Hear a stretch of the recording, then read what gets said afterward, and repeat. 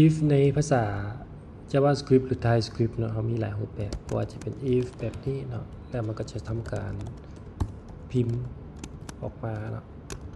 หรือแม้แต่กระทั่งใช้ if ที่เป็นเขียนแบบสั้นๆแบบนี้ก็คือมีอย่างสมมุติว่า constant x เท่ากับ true เนาะ x แล้วตามด้วยตามด้วยผลตามเงื่อนไขตรงตัวนี้เนาะก็คืออย่างเป็น x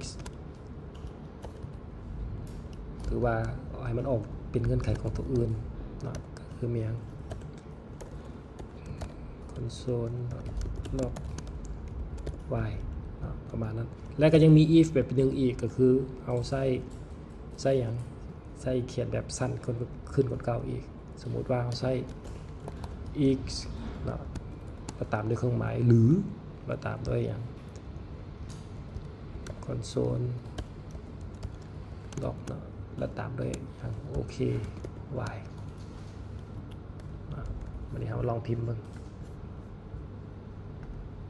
ได้ป่ะ if ตัวนี้ก็สามารถแลนออกมาเป็นโอเค y if ตัวนี้มันก็สามารถแลนออกมาอีกในเรื่องนี้ได้ แล้วก็ if ตัวนี้มันก็สามารถออกพิมพ์โอเคมาได้ ประมาณนี้